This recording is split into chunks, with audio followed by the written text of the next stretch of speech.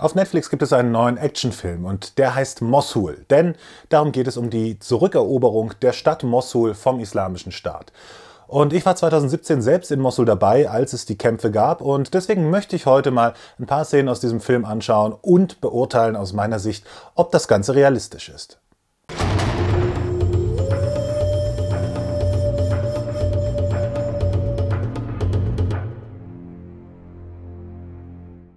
Bevor wir uns die Szenen aus dem Film mal anschauen, ganz kurz ein paar einordnende Worte. Mosul war die zweitgrößte Stadt des Irak mit knapp über zwei Millionen Einwohnern, heißt es.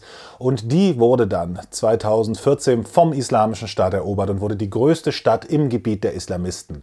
Und 2016, 2017 begann dann die Zurückeroberung dieser Stadt. In langen, langen, monatelangen, blutigen Kämpfen haben die irakischen Truppen äh, unter Unterstützung der Peschmerga und der internationalen Koalition es geschafft, diese Millionenstadt aus den Händen des Islamischen Staats zurückzuerobern.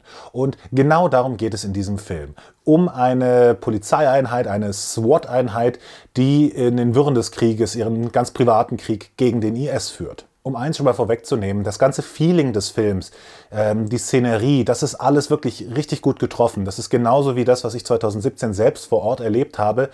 Ähm, die zerbombten Straßen, wie sich das Ganze anfühlt, der Müll, der überall liegt, bis hin auch zum Look der ganzen Einheiten. Also diese, ähm, dieses, dieses, dieses Zeichen des Totenkopfs, was sie da zum Teil über ihren Gesichtern tragen, das hat man da wirklich vor Ort überall gesehen. Dieser Totenkopf war ein beliebtes Zeichen für die Anti-IS-Kämpfer. Ähm, die Uniformen sind, so wie ich das beurteilen kann, auch ziemlich gut getroffen. So dieses blaue Tarnmuster der Federal Police, mit der ich damals unterwegs war, also der Bundespolizei, dann so die, die schwarzen Uniformen der Golden Division, der Antiterroreinheiten und so weiter. Auch das ist so diese Spezialeinheit, mit der wir da folgen, dass die relativ bunt durch, durcheinander gemischt ist von den Uniformteilen her. Also nicht alle einheitlich, sondern alle ein bisschen individueller.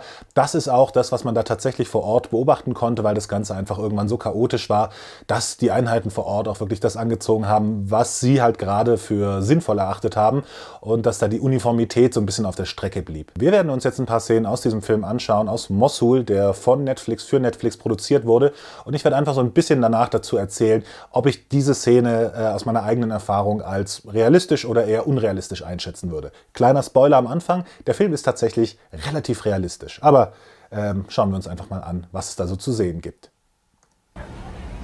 على مود اصير محقق وانت كنت تدرسني ماده البحث الجنائي das ist eine von diesen kleinen Sachen, die den Film meines Erachtens nach ähm, so realistisch macht. Ähm, die Fotos auf dem Smartphone von den Kämpfern, die äh, für unsere, sag ich mal, westlichen Augen vielleicht ein bisschen äh, befremdlich mit gefallenen IS-Kämpfern posieren. Also Fotos von Leichen, Selfies mit Leichen. Äh, das ist das, was ich unten tatsächlich auch selbst erlebt habe. Das ist wirklich relativ normal. Also es gibt weniger diese Berührungsängste, wenn man, glaube ich, sein Leben lang oder mehrere Jahre selbst in einem Krieg verbracht hat, dass es dann zu einem normalen Teil des Lebens wird. Und für Soldaten es so ein bisschen auch dieses, dieses Gefühl der Trophäe ist, zu zeigen, hier, äh, die Kämpfer des Islamischen Staats sind nicht unverwundbar und wir haben sie besiegt. Das ist zumindest so meine Theorie, wie ich diese ganzen Fotos interpretiere. Aber kurz gesagt, Fotos von Schlachten und auch von gefallenen Gegnern auf dem Smartphone absolut realistisch und etwas, was man in Mosul sehr oft gesehen hat.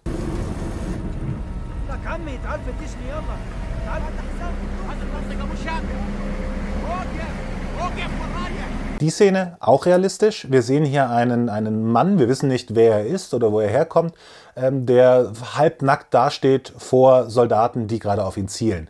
Und das hat nämlich zum Hintergrund, dass gegen Ende, als absehbar war, dass der Islamische Staat am Verlieren ist, viele Kämpfer des Islamischen Staates äh, sich als Flüchtlinge getarnt haben, als ganz normale Einwohner von Mosul, Viele von ihnen waren auch davor ganz normale Einwohner von Mosul, die sich dann auf die Seite des IS geschlagen haben. Und die wollten dann ähm, fliehen, die wollten flüchten aus der eingekesselten Stadt und haben sich eben als Zivilisten ausgegeben. Und ähm, das sind, glaube ich, zwei Erklärungen, warum die Person sich da so zeigt.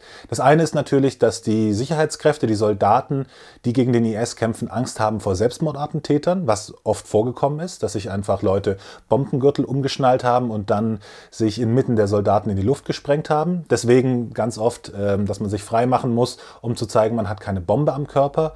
Zum anderen, und das ist auch aber interessant, äh, um zu zeigen, wie, wie abgemagert oder wie, wie kräftig man noch ist. Denn natürlich waren es die Kämpfer des Islamischen Staats, die am Ende, als das Essen knapp wurde, ähm, die ganzen Rationen für sich beansprucht haben, während sie die Zivilisten haben hungern lassen. Also ähm, ein, ein Flüchtling nach Monaten der umkämpften Stadt zu sehen, der noch relativ gut und kräftig ähm, Speck auf den Rippen hat, das ist ein Indiz dafür, kann ein Indiz sein, dass es sich dabei eigentlich um einen Kämpfer des Islamischen Staats handelt, der in den letzten Monaten noch die wenigen Rationen für sich bekommen hat. Zumindest war so die Logik der, der Truppen, die gegen den IS gekämpft haben. Deswegen auch das, ganz kurze Szene, ganz kleine Szene, aber sehr gut beobachtet.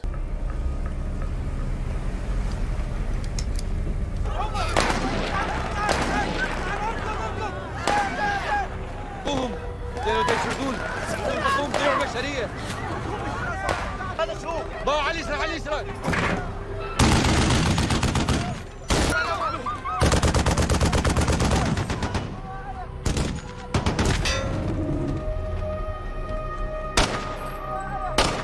Hier sehen wir auch wieder gleich zwei Sachen, die leider, leider sehr realistisch sind. Zum einen, dass auf äh, Fliehende geschossen wird, äh, auf Leute, die den Einflussbereich des Islamischen Staats verlassen wollen. Denn natürlich wollten die Islamisten das verhindern. Ähm, die Zivilisten waren ein lebendiges Schutzschild für die Islamisten gegenüber Artillerie, gegenüber Luftangriffen und andere Vorstöße der Anti-IS-Koalition. Und deswegen wollte man natürlich nicht, dass dieses Faustpfand das IS-Gebiet verlässt. Und deswegen kam es oft dazu, dass eben an den Gebieten, an den, an den Grenzen, an den Frontlinien, wo Zivilisten flüchten wollten, äh, vom IS auf Zivilisten geschossen wurde und auch viele Menschen ermordet wurden. Das andere ist die Bedeutung von Scharfschützen in diesem Krieg, gerade auf Seiten des IS. Das war auch, glaube ich, die größte Gefahr, die damals für uns 2017 bestand, als wir da an die Frontline gekommen sind.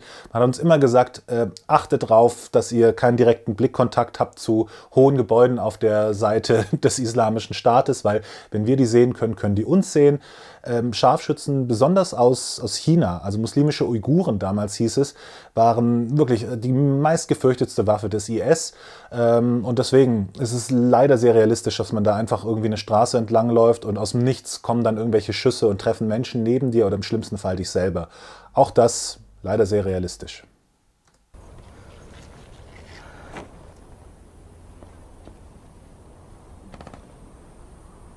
In der Szene sieht man jetzt die Scharfschützen aus der Nähe, nachdem sie getötet wurden. Und der Hauptcharakter merkt, dass es eigentlich gar keine so ähm, bärtigen alten Männer sind oder bärtigen Krieger, sondern Teenager, die eben für den Islamischen Staat gekämpft haben.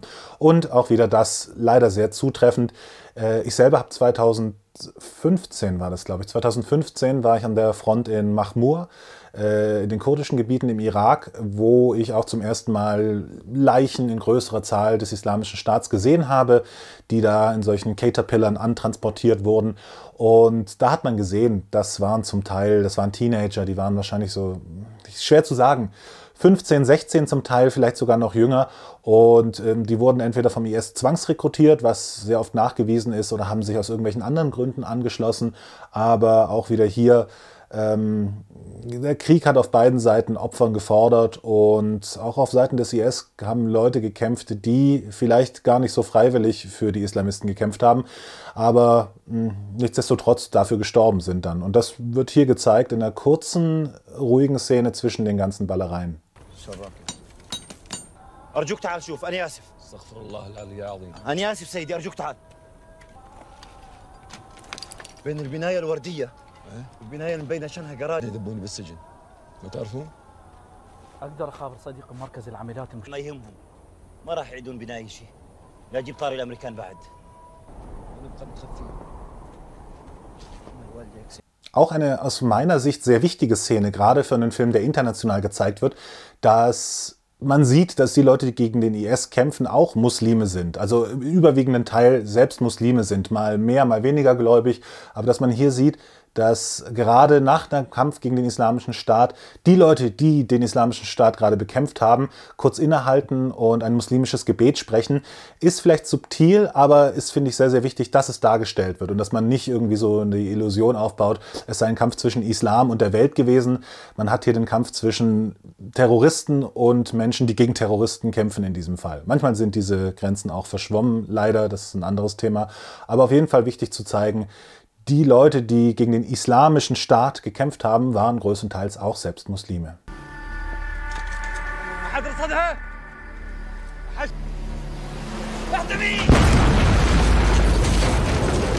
Ja, Drohnen, auch ganz wichtiges Thema. In meinem letzten Film hatte ich selber das Problem, dass äh, da in diesem Fall in, in Syrien, in den kurdischen Gebieten Syriens, äh, vom Hersteller meiner Kameradrohne die Funktion ausgestellt war, dass man da fliegen konnte, weil der Islamische Staat so viele Drohnen verwendet hat äh, als Luftwaffe. Sie haben Bomben dran gebaut, haben entweder Handgranaten damit abgeworfen oder ähnliches oder haben sie gleich selbst in die Luft gejagt. Und als wir in Mosul waren, war das auch immer so ein Blick nach oben ähm, immer so ein bisschen Hintergrundgeräusche achten, ob man dieses Schwirren von Drohnen hört, weil das ähm, selten ein gutes Zeichen war und man immer natürlich Angst hatte, dass die Drohnen irgendwas fallen lassen oder explodieren. Und deswegen war so neben Minen, Scharfschützen ähm, und, und solchen gepanzerten Sprengstoffautos, Selbstmordattentätern, waren die Drohnen die größte Sorge, die wir damals hatten, als wir an die Front sind 2017. Und deswegen ist es auch gut in dem Film und realistisch, dass es zumindest einmal kurz dargestellt wird. Wie weit die Drohnen später noch eingesetzt werden konnten zum Zeitpunkt dieser Schlacht, das weiß ich nicht. Das halte ich für ein bisschen unrealistisch, weil die Amerikaner, die vor Ort waren, sehr oft auch so drohnenhemmende Technologie eingesetzt haben, damit die Drohnen nicht mehr starten konnten. Also es ist durchaus möglich, dass es noch äh, so passiert sein konnte, kann aber nicht sicher sagen, ob zu diesem Zeitpunkt Drohnen noch fliegen konnten in der Stadt.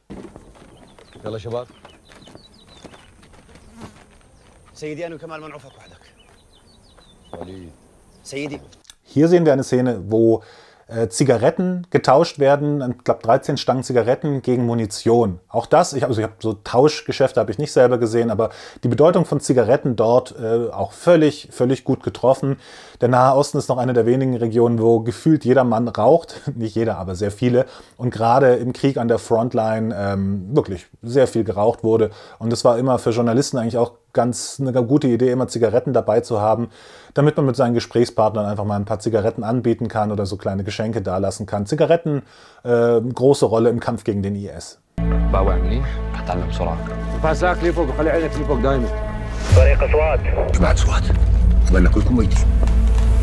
شنو مهمتكم؟ هاي المنطقة كلش خطر الدواعش يقدرون بأي لحظة يبنوا طريق الغربية die ganzen Szenen, in denen das SWAT-Team durch die Straßen durchläuft und immer sehr, sehr vorsichtig sein muss, weil man natürlich im Straßenkampf ist und immer schauen muss, von wo könnte irgendjemand auftauchen, von wo könnte irgendwie ein Fenster aufgehen oder irgendjemand auf einen schießen, irgendwelche Heckenschützen oder so.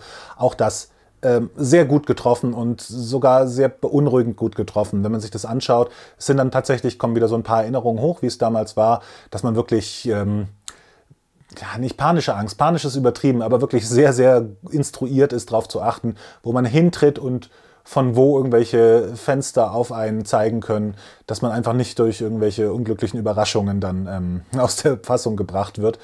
Und das haben sie auch hier gut getroffen. Das ist natürlich in Filmen immer schwer darzustellen, wie so die Anspannung wirklich in Realität ist. Wenn man jetzt so einen Film auf Netflix anschaut, ist es was anderes, wie wenn man wirklich selber dort ist mit 40 Grad im Schatten, ähm, super schwerer Body Armor, gleichzeitig läuft einem der Schweiß runter, man muss noch irgendwie welche Filmaufnahmen machen und man weiß, dass ähm, die Gefahr real ist und man jederzeit sterben könnte, wenn's, wenn man es so nimmt.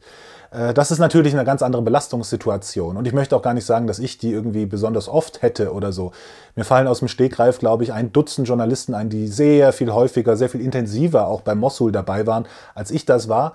Aber das Erlebnis, das ich in Mosul hatte, der Trip an die Front, der hat gereicht, damit ich diesen Eindruck bekommen habe und mich auch heute noch daran erinnere. Und genau deswegen war es jetzt für mich wichtig, auch mal einen Blick auf diesen Film zu werfen, auf Mosul ähm, wie ihr wahrscheinlich gemerkt habt. Die Sachen, die ich gesehen habe, waren wirklich gut getroffen, nah an der Realität, wie ich sie beurteilen kann, wie ich sie wahrgenommen habe. Aus filmischer Sicht, ja, es ist ein Kriegsfilm.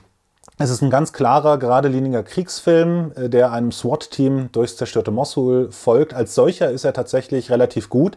Ich schaue nicht oft Kriegsfilme, äh, ironischerweise, aber der war aufgrund meiner persönlichen Beziehung zum Kampf um Mosul, den musste ich mir anschauen und ich war nicht enttäuscht. Also, wenn ihr Interesse habt, ähm, zu sehen, wie sowas sage ich mal, relativ realistisch aussehen kann, dann kann ich euch empfehlen, schaut euch Mosul auf Netflix an. Und was ich noch sagen will, ähm, sehr coole Sache daran ist, es ist zwar ein amerikanischer Film, soweit ich weiß, also amerikanisch produziert, aber die Amerikaner haben endlich mal dazugelernt in ihren Kriegsfilmen und Du brauchst keinen weißen Hauptcharakter. Du brauchst keinen ähm, Amerikaner, der irgendwie allen Sachen erklärt. Du hast nur Araber und Kurden in diesem Film und das ist tatsächlich sehr realistisch. Der Film ist Originalsprache und untertitelt, ähm, was es ein bisschen anstrengender macht, aber sehr viel realistischer. Also, meine Empfehlung hat der Film. Viel Spaß beim Anschauen und bis zum nächsten Mal.